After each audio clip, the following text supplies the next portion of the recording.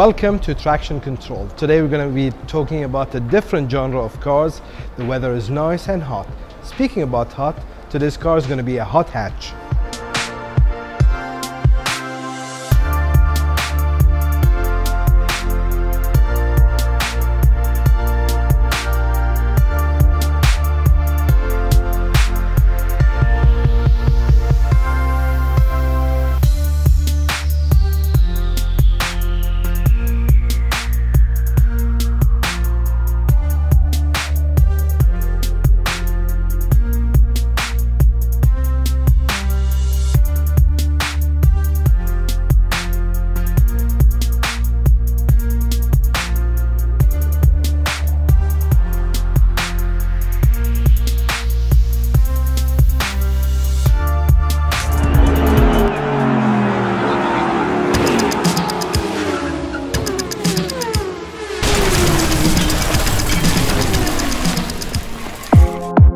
Today we're going to be test driving the Golf R 2017 MK 7.5. But first, safety.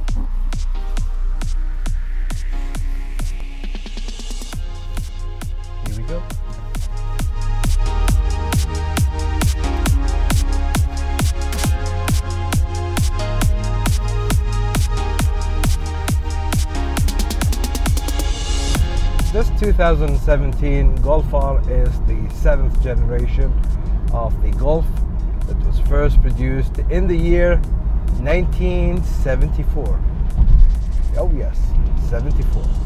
The Golf model out of the Volkswagen range is the second popular car in the world, selling millions of this car. So you can know how important this model is to the car industry and how popular it is with the people who drive Golfs. I fell in love with the previous generation, the MK5. Remember those with the five cylinder, six cylinder engines? Everybody was dying to have one and showing off that he had the V5 or the six cylinder Golf. This model, the 2017, designated MK7 2.5 is the latest offering from Volkswagen.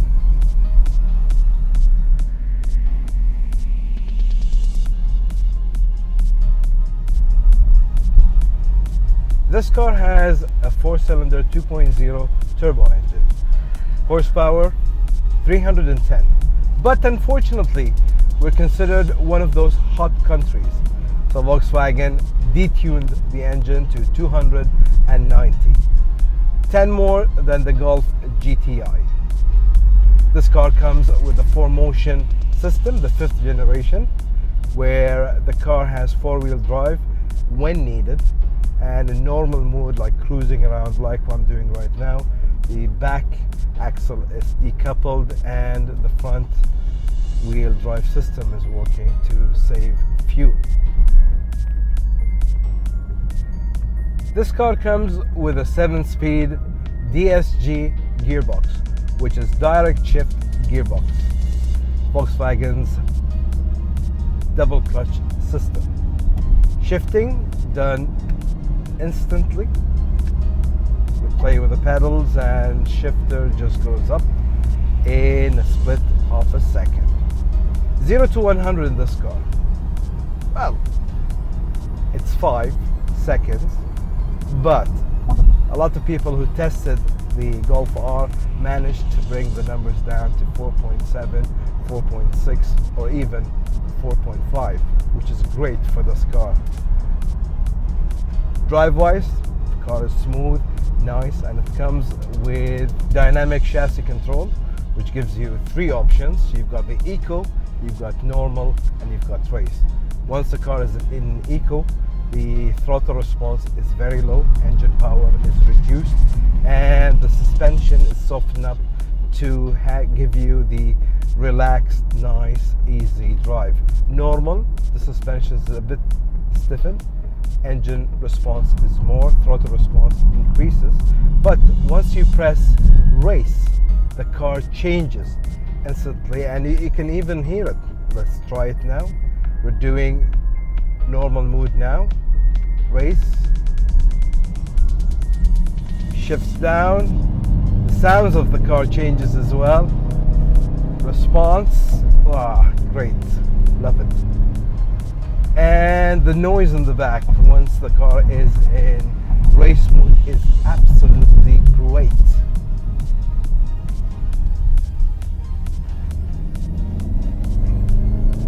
You can hear it in the back engine braking done smoothly. And because this car is a 4Motion you can just jump out of the corners so fast. In the GTI the system in the front drive distribute the power depending on the need. In this car you can have up to 50% of the power shifted to the back to give you the maximize exit from any points you'd like or power in the back.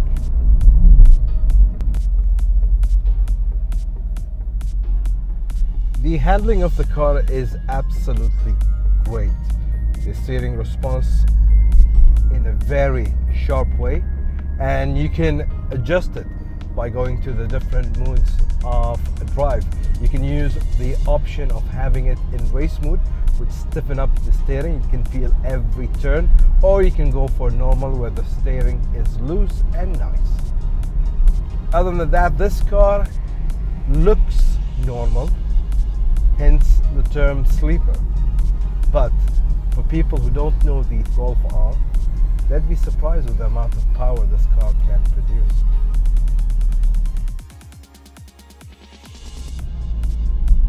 You might be wondering how practical is this car? Well, very. You can have five people sitting in this car, three in the back, two in the front. You've got enough cargo space. Fuel economy and efficiency. This car can produce 15.3 kilometers per liter of fuel and it's rated one of the best by the GCC rating system. So uh, you can have fun with this car you can enjoy it. It's practical. You can go shopping. You can have your kids in the back. And the most important thing like i said this car is a sleeper. It looks normal. It acts normal but with a press of a button it changes. Going to race mode right now. Sound change the car is ready to engage and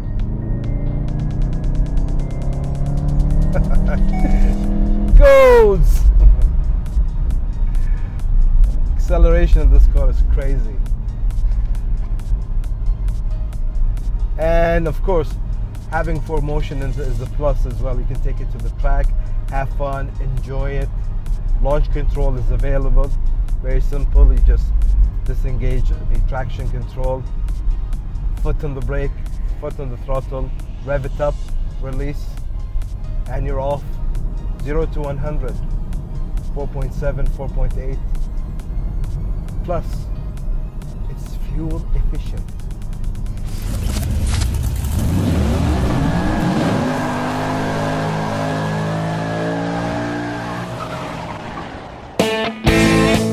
Now we come to the exterior of the Golf R.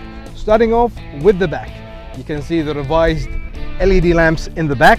You've got the nice R badge and you've got the quad exhaust down. This car can come with the Acro Povich exhaust system but unfortunately this one is the normal one. The other one is about seven kilograms less and it gives you a nicer sound and feel when you're driving. Coming to the side you can see the normal golf chassis exterior. You got the 18 inch r rims. Coming to the side you've got the nice chromed side mirrors the r badge and you've got a nice r caliper as well in silver like I said, this car has a silver theme, not like the GTI. The GTI has red.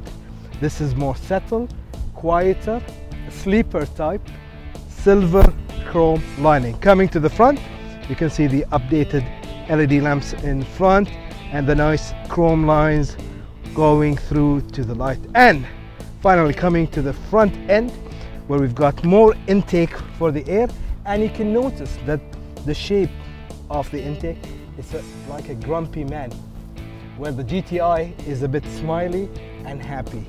So this car looks normal, but underneath the hood, we've got the 2.0 turbo engine that produces 290 horsepower, which makes this car a pretty fast one. Not forgetting that this car as well is a 4Motion.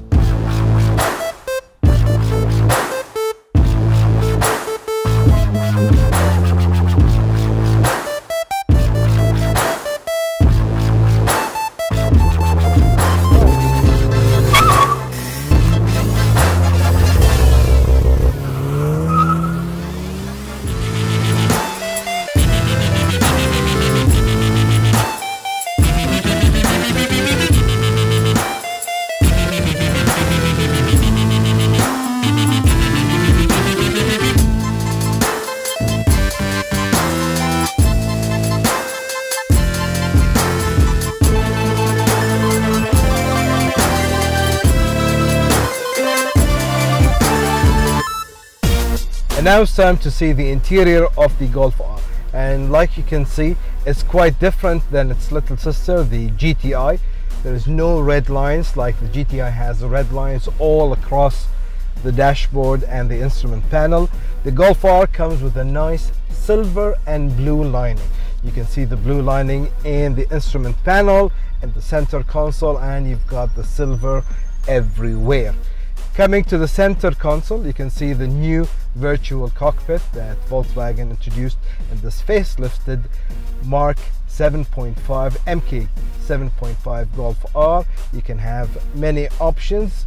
Very simple, touch of a button. You've got your telephone, your vehicle status. You can even have a lap timer to measure your lap. You've got your normal driving data, assist system, and views of the dashboard. You can change the cluster.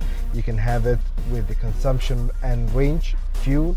You can have it on efficiency as well to see how efficient your driving is because the golf always promote blue driving which is efficiency in driving. Coming to the middle of the dashboard you can see the infotainment system.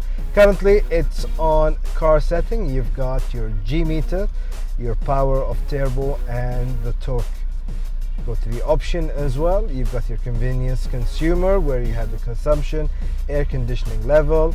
Then go to the stat of the car. It gives you exactly the average mileage and fuel consumption. And you've got the blue trainer. This is what i was talking about it gives you it calculates how blue your driving is if you want to know more you go to the think and it gives you tips on how to save fuel. You've got changing up early and fill up later just let it roll and you've got all the details inside which is a nice thing tips from Volkswagen to give you about how to drive with fuel efficiency.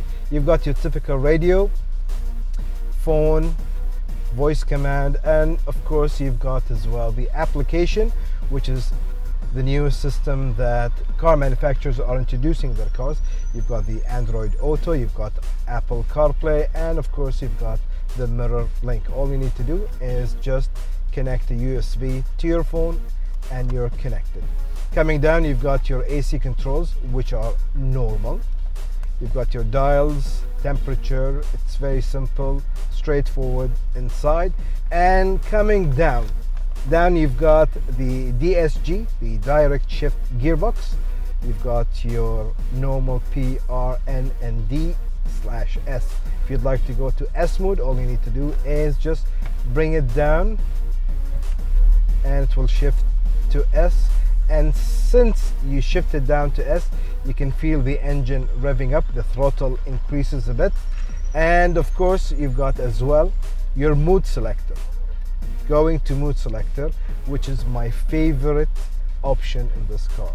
You've got four options. You've got your eco drive you've got your normal drive you've got your race drive which i prefer all the time and you've got the individual to know more about the settings of each one you can go to individual go to change and it gives you.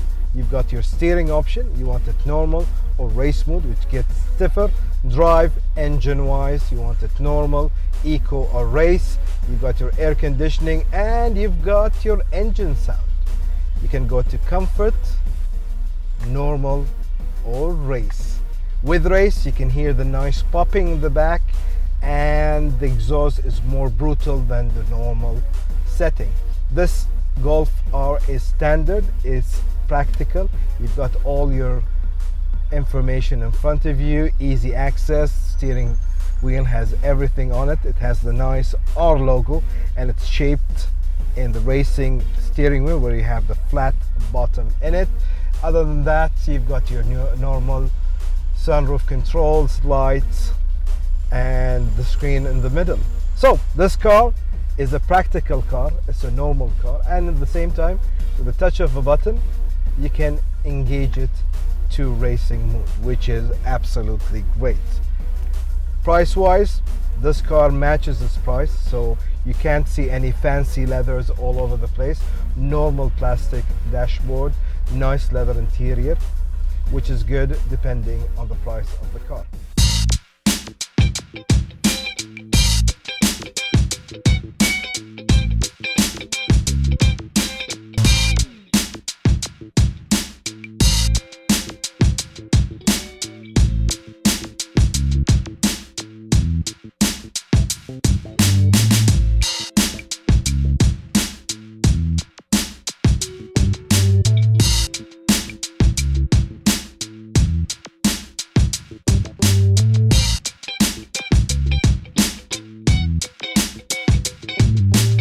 here we had our review of today, the Golf R. Well, the weather is hot. It's time for me to say goodbye. See you next time on Traction Control and let me enjoy my hot hatch.